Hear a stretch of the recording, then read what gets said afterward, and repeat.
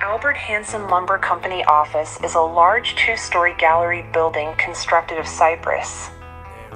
It is located in the heart of the former sawmill town of Garden City. Although the building makes a rather grand statement and is nicely detailed, it does not fit easily into any style category.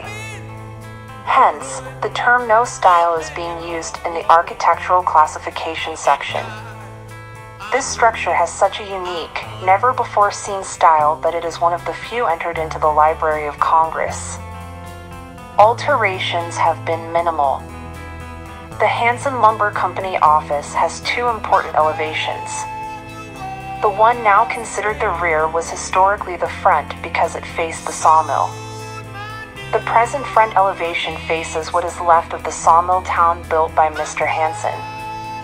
Each facade has a colossal order gallery beneath a flared roof extending from the main tripped roof.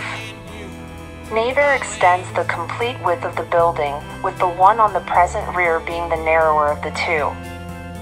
The columns are fluted and the capitals are most unusual, featuring a typical Doric capital surmounted by a block capital with curved cuts and a molded top. They are unevenly spaced on the present rear to allow for the main entrance. Pilasters define the edges of the galleries. Incorporated into each gallery is a full-width cantilevered balcony. Windows are 2 over 2. The Hanson Lumber Company office is of state significance in the area of industry because it is one of a limited number of resources left to directly represent the great Louisiana lumber boom. The period of significance spans from C. 1900, the date of construction, to 1943, the 50 year cutoff for significance. The building served as the lumber company office until the 1950s, and the lumber industry remained an important force in the state past the 50 year cutoff.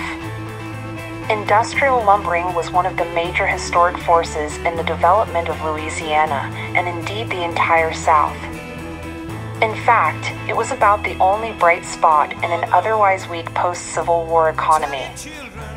Until the 1880s, Louisiana's vast forests were largely untouched. It was then that large scale industrial lumbering began in earnest. During the so called golden years of the Louisiana lumber boom, 4.3 million acres of timber were cut, with Louisiana consistently ranking second in the nation in production.